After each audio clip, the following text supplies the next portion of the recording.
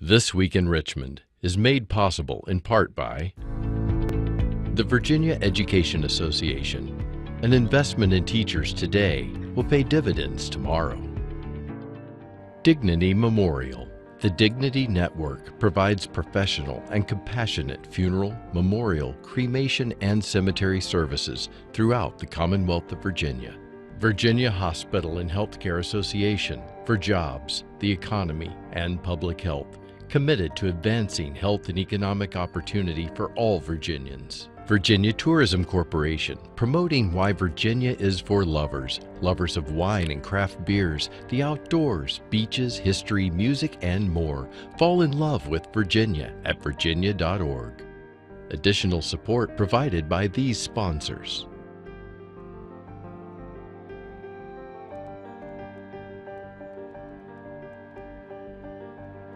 And by the members of Virginia's public television stations. Thank you.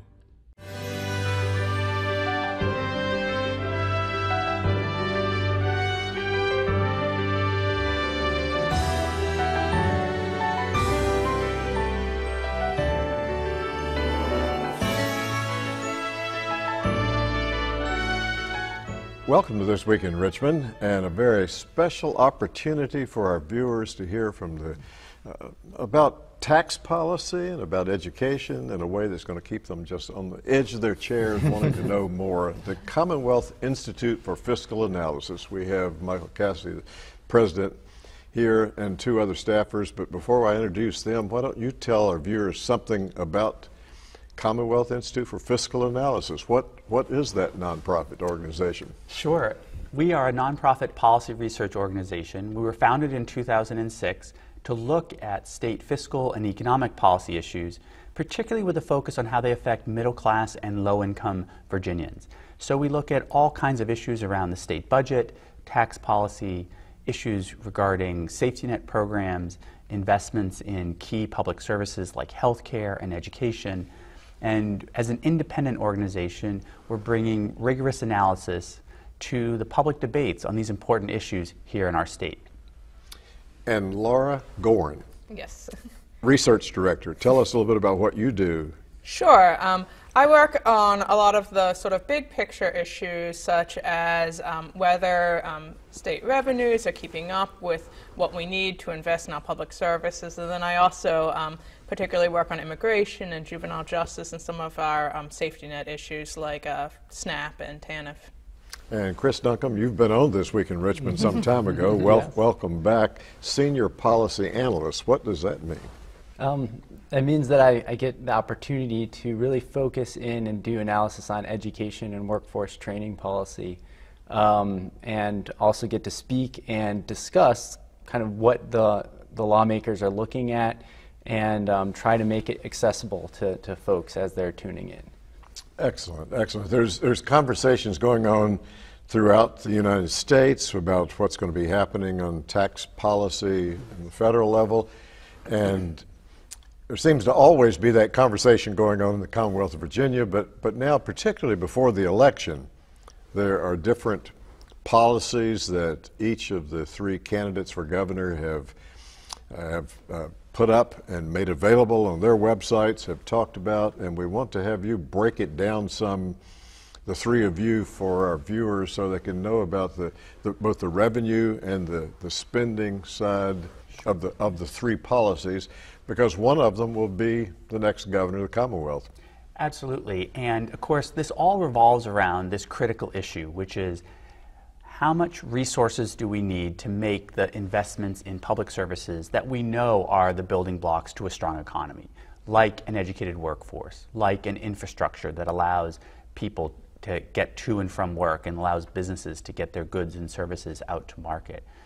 Um, things like a healthcare system uh, throughout the state so that folks have access uh, that they need to healthcare, which is we know critical for having not only just an educated workforce, but a healthy workforce.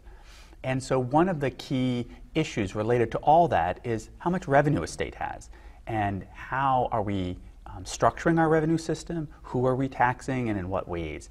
And as you mentioned, in this campaign cycle for the governor's race in Virginia, there, is a there are a host of proposals about that.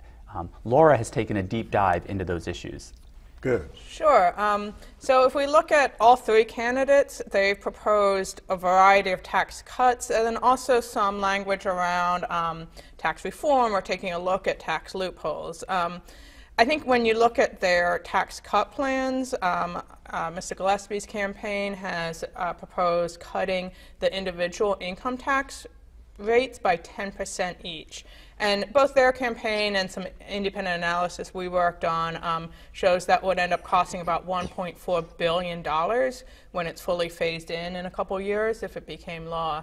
Um, and that really has to be weighed um, in the context of the fact that state revenues have not kept up in general with the growing state economy or with our public needs. And that's why we've had um, even during the current economic uh, recovery and growth period, we've had shortfalls, and um, the legislature and governor has not been able to invest in things that everybody agrees is needed. Um, for example, education funding. While we've made a little bit of progress recently, turning a corner, um, we're still not back where we were before the recession. And if you look across a variety of public services, the same is true. Um, the transportation package that was passed in 2013 um, under the McDonnell administration, that was certainly an attempt to move forward and raise revenues that were needed to address Virginia's very real transportation challenges. Um, but it hasn't raised the amount expected, basically because gas prices haven't done what people expected, which was increase. Um, so we haven't really had a successful um, attempt or to, well, we've had attempts, but they haven't been successful to deal with Virginia's revenue challenges in many, many years. So then when you turn around and have a variety of proposals to deeply cut revenues, the question is what are you going to cut to pay for that? Or what other taxes will you raise to make up for that lost revenue? And unfortunately, I think we've mostly seen wishful thinking from all three campaigns around um, economic growth making up for that. Now, in addition yeah. um, to Ed Gillespie's proposals. Uh, Lieutenant Governor Ralph Northam also has a set of proposals on revenue too that might be worth talking about for a minute because they also um, they're different than what um, Ed Gillespie's proposing. Sure. Um, the lieutenant governor has proposed um, to eliminate Virginia's uh, sales tax on groceries, um, either all of it or the state portion of it. Um, it's a little unclear um, to me ex- the exact details of the proposal. Um, we uh, have done some analysis showing that eliminating the state portion of that sales tax would cost about $380 million, which, um, while it's not $1.4 billion, it does raise many of the same questions. Um, interestingly, if you look at those two proposals and who they would cut taxes on and who they would um, impact the most, um, they're fairly similar in terms of how much of a tax cut the average middle income Virginian would see, someone with uh, about forty to sixty thousand dollars of income. Um, but if you look at low income and then high income people, the impacts are very different because low income people pay a higher share of their income towards the grocery tax than high income people, and vice versa for the income tax. Um, and then the third candidate, of course, I don't want to uh, forget to mention uh, Mr. Hyra has a tax cut plan also. Um, he proposes to very significantly increase the standard deduction um, for both individuals and uh, married couples, um, and that would cost, depending on the details of what else he did, between three and five billion dollars. So, a, an even more significant loss of state revenue from that. The, on your website, you have uh, a half sheet, mm-hmm. the blog, and the viewers can go on there and can see some nice graphs for for each of these that just mm-hmm. you know just the facts yeah. of what, what, they're proposing. Interesting, I guess in a campaign season, all three candidates are proposing some sort of tax cut. Yes, tax cuts are are um, all, often viewed by politicians as being you know popular uh, with the electorate. And so it's not uncommon that you see proposals along these lines during election cycle. But as Laura mentioned, the core issue remains how do we have the resources that we need to pay for the services that the public um, expects and that we know are critical to having a strong economy. States have to balance their budget. states can't run deficits like the federal government can. And so, as a result, this issue of what are you going to cut in order to make room for uh, a tax cut is really critical and always relevant, um, particularly because Virginia has seen relatively modest economic growth during this recovery. The idea that you could just grow your way out of being able to afford a multi billion dollar tax cut, for example, is even more difficult to, um, to really um, put your hands around when you think about the long-standing um, budget challenges the state has faced in this recovery. I, and I think the last thing I wanted to mention was it is certainly encouraging that um, all of the campaigns have called for taking a look at tax preferences and special tax giveaways and doing some sort of tax reform. Um, obviously the devil is in the details on those. Um, everybody wants to cut somebody else's giveaway and not their own. Um, so I think that we do need to have a serious conversation in this state about the um, giveaways and other tax preferences. Um, they're certainly what makes doing your taxes complicated. It's not, you know, the tax brackets that makes doing your taxes complicated. It's it's all of the different um, deductions and credits.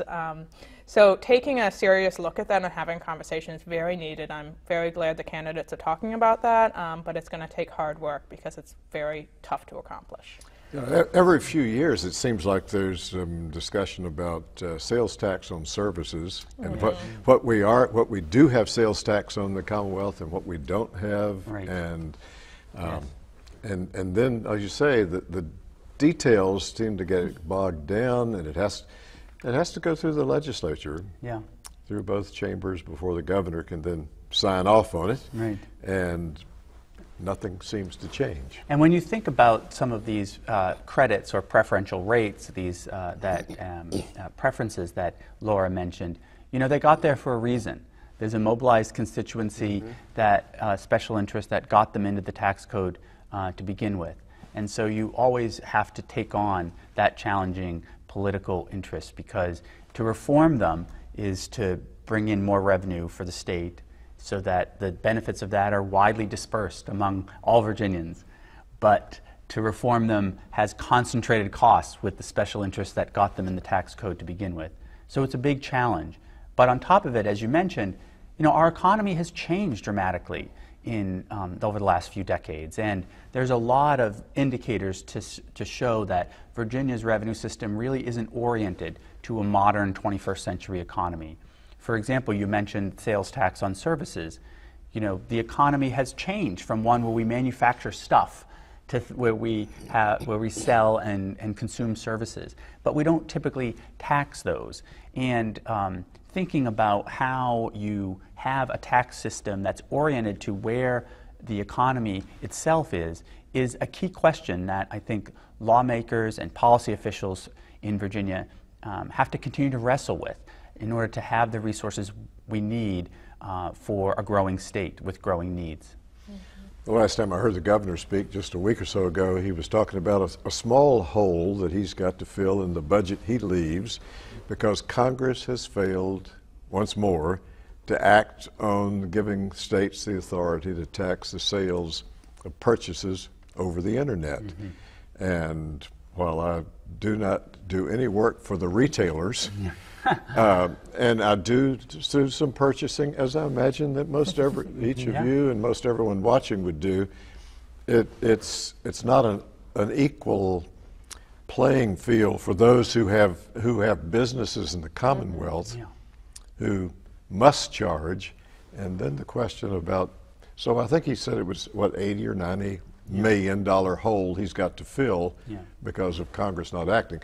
Uh, let's let's also get you some comments about what what if what what if there's some action at the federal level? Uh, your institute is one of about 40 around the, the country that analyzes state revenues and taxes and policies, but aren't we somewhat under the gun as to, as to what may or may not happen in Washington with regards to tax policies and sequestration and all Yeah. of that? Absolutely. There's a strong connection between what's happening at the federal level and Virginia's economy, Virginia's state budget, and Virginia's state revenue system. In a lot of ways, the federal taxes and state taxes are intertwined. Um, the ending point for federal taxes is usually the beginning point for people as they, as they prepare their state taxes. Um, for example, the, in Washington right now, there's a proposal uh, by the Trump administration that would include uh, eliminating the deduction that folks take for state and local taxes paid. Right. Now, generally speaking, in the media, you hear um, the states that are mentioned um, who would be most affected in that arena are in places like New York and New Jersey um, that have much higher um, state um, income tax structures. However, you know, in Virginia, um, we still have we have communities with some fairly significant local property taxes that people pay. You know, in Northern Virginia, where property values are quite high, folks uh, who take that deduction, that's a significant one for them, and that would have a big impact on Virginians. And as you mentioned, federal sequestration has been the most significant economic challenge I would argue that the state has faced. We have not had the same recovery that we normally have after a recession in Virginia. So we very much are in uncharted territory this time. When you look at the job growth numbers and uh, that we've seen, they've been moderate at best, whereas we typically have bounced back fairly quickly after recessions. And those challenges posed by federal budget austerity measures and ongoing sequestration are going to continue to be a challenge for state lawmakers to figure out how we craft state policies that um, can make the investments we need to bring the economic growth that, uh, that is, is, is necessary to boost family incomes and provide a strong future for our kids. Let's, yes. Yeah, I was going to add on to that. And, and that's kind of the flip side of the, the equation here. We've been discussing the revenue challenges that Virginia has been facing for quite some time. And those impacts have been really keenly felt by our public schools. Um, during the recession, the state made very significant reductions in its support, pushing off a lot of the responsibility onto local governments to help support the schools. And not all local governments had the revenues available to help out with their school divisions.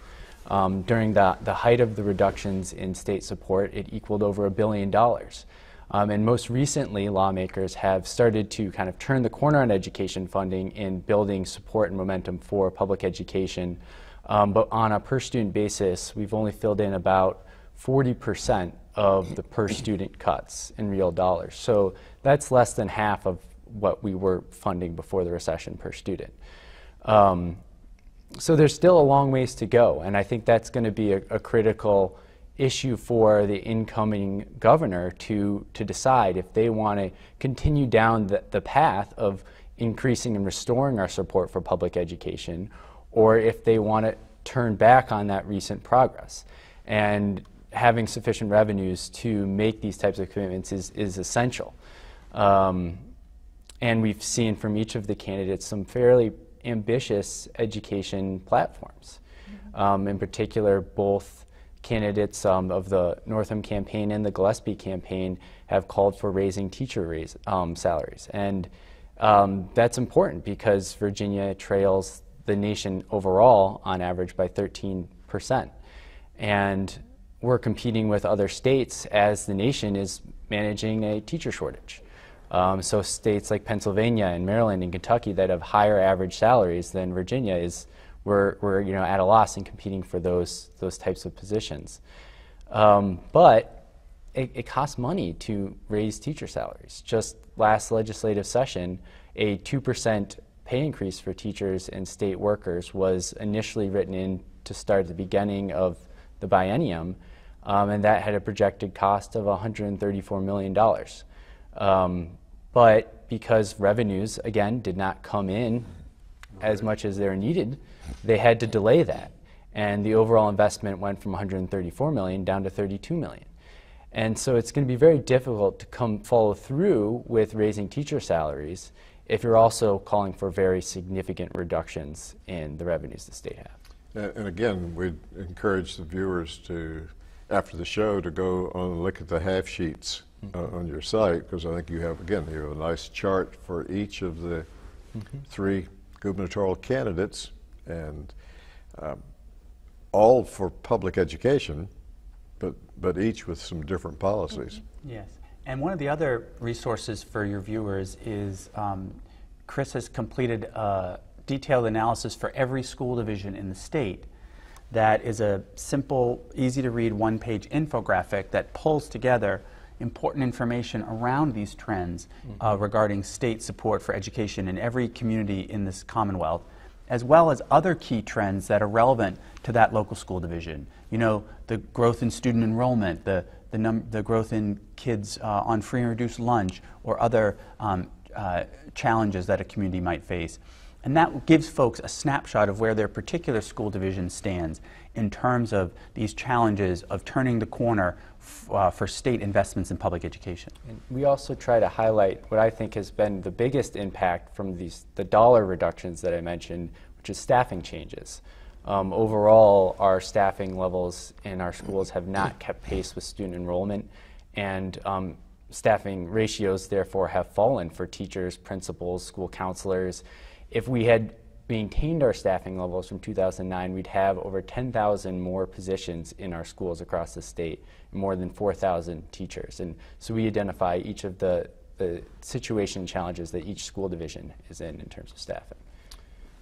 This coming session is a time for what's called re-benchmarking. Mm-hmm. And I'm sure there are people in the money committees, appropriations, and Senate Finance that are already, as they're wrestling with that and figuring what that's going to cost, as well as the Governor McAuliffe's administration.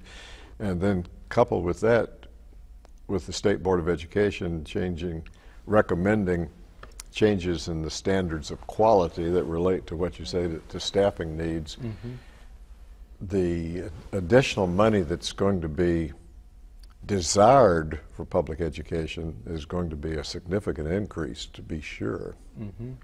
And and again, it'll it'll fall on the incoming governor and the the 2018 General Assembly. Yes, absolutely. And I think that's a really important point that you raised up is that the Virginia Board of Education has already taken action to try to restore support for schools and make sure that schools have adequate staffing um, for the, the many needs of their students.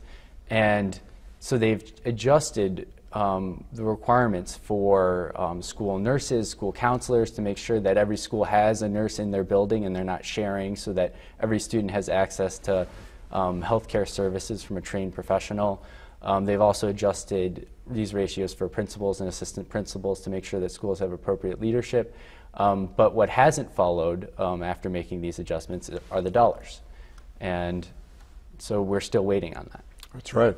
Uh, without getting too deep into the weeds, as they, they would say, the 2017 session was to be the time, according to the code, that they would make those adjustments. Board of Education had their recommendations. They went nowhere because the money wasn't there, as you pointed out. And so the, the, the code was changed to make the even year, to make 2018 the year to bring forth those changes. And some are already questioning whether the money's going to be there in 2018 to make those changes. Right, and the 2018 session is going to be the one where the General Assembly deliberates over and builds the state's next two-year budget. And so that is a window of opportunity to really um, tee up these issues and make sure we have a robust conversation in our state around what should the future of public education look like in Virginia? What are the investments the state needs to make in order to uh, fulfill its commitment to educating kids in our state and to, as Chris said, continue down this path that we finally turned a corner on, um, on the state restoring some of the deep cuts that were made during the recession. And uh, so that leaves the open question are we going to continue that, down that path of making progress in making the investments in what we know is essential for um, success in educational opportunity and for the economy as a whole? If each of you took 20 to 30 seconds before we close and saying, what do you think is the biggest challenge for the incoming administration and the incoming General Assembly, what would be? Why don't we start with you? What's the biggest challenge? Um, I think a, a, a large challenge is going to be um, gathering the political will to invest in the priorities that many of these candidates have identified. Um, and that's going to be difficult within the General Assembly and maybe perhaps within their own administration. Okay. Yeah, I think Chris really hit the nail on the head with a lot of that. Um, just finding ways to come together and um, invest in the type of future that they want for Virginia, that we all want for Virginia. I think the federal government and its policy proposals and posture remains a huge threat to Virginia. Um, not only federal budget austerity measures, but also efforts to repeal the Affordable Care Act, um, to um, reform federal tax policy that would have outsized impact on states. All of those, I think, are a critical issue that are on the radar. Thank you, all three. And, and as we would say to our viewers, stay tuned to see what's going to happen. Thank you very Thanks for much. having us. Thank David. you.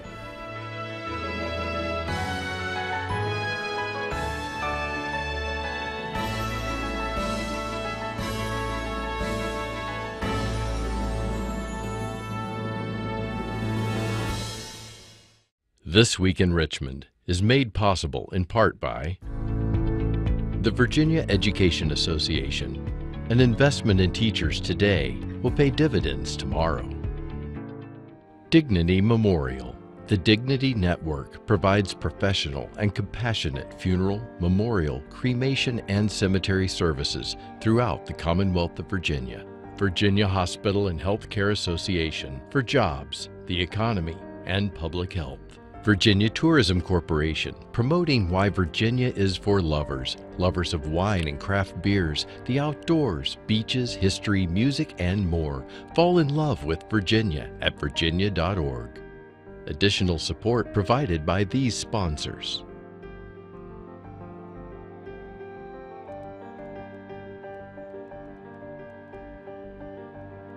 And by the members of Virginia's public television stations. Thank you